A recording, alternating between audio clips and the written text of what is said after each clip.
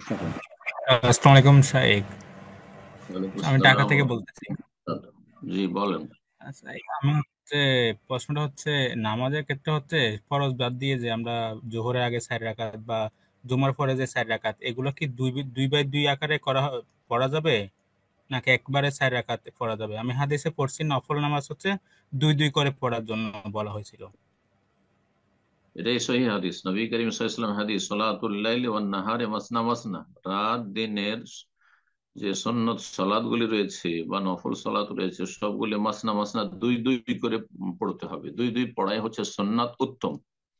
শুধুমাত্র জোহরের আগের চার রাকাত সম্পর্কে একটি হাদিস রয়েছে যে, আরবা রাকাত লাইসা ফিহিন্না তসলিম যাতে সালাম নেই, এইরকম করে পড়া ওর কথা রয়েছে।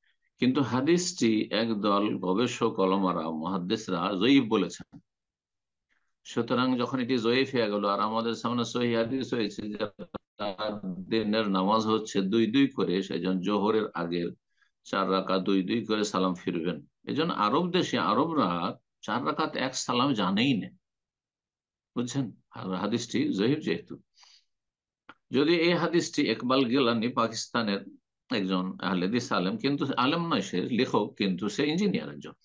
সে হাদিসটি নিয়ে এসছে, আর সহিজ কিছু লিখে না, নামাজের মাসাইল, তাতে এই হাদিসটি নিয়ে আসার কারণে অনেক আহলেদিসরা এইভাবে এটাকে মনে করে বা সহি আকিদে চলে এসছে, আমল করে।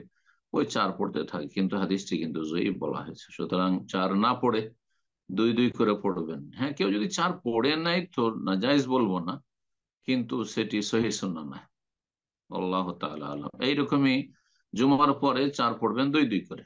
জি, আমরা পড়ি দুই দুই করে পড়ি। বারাকাল্লাহ